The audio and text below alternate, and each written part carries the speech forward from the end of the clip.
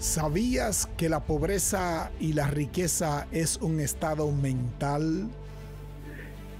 En lo que piensas con más frecuencia todos los días, en eso te conviertes.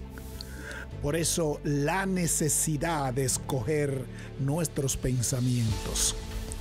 Así que si tú piensas en pobreza, si piensas en necesidad, si piensas en escasez, si piensas solamente en tiempos duros, entonces eso la vida te dará.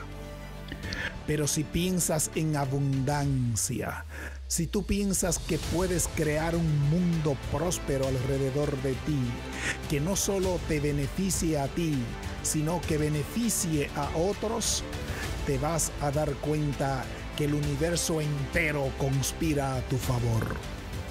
Cuando tus pensamientos diarios son alineados para bien, entonces escoges pensamientos de grandeza. Ahora te hago una advertencia. Cuando escoges pensamiento de prosperidad, vienen las adversidades, viene la desgracia, desaliento, fatalidad. Es como sentirse encerrado en cuatro paredes y no encuentras la puerta.